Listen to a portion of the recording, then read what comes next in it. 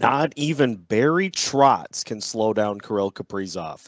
Hey everybody, Seth Toupal, host of Locked On Wild, your daily Minnesota Wild podcast, recapping a four to three win for the Minnesota Wild against the New York Islanders on the road. The Wild get goals from Kirill Kaprizov. More on him in a bit.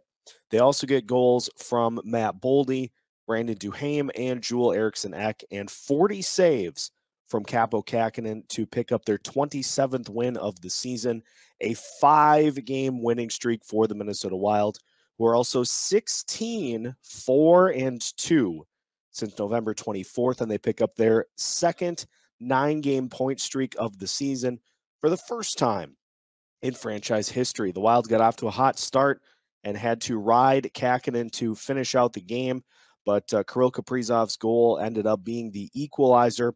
And listen to this for Kirill Kaprizov's stats in his last 20 games 13 goals, 21 assists.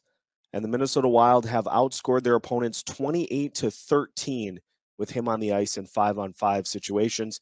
An absolute monster for the Minnesota Wild. But Kevin Fiala heating up as well. And this Minnesota Wild team is rolling right along now that their regular slate of games is back.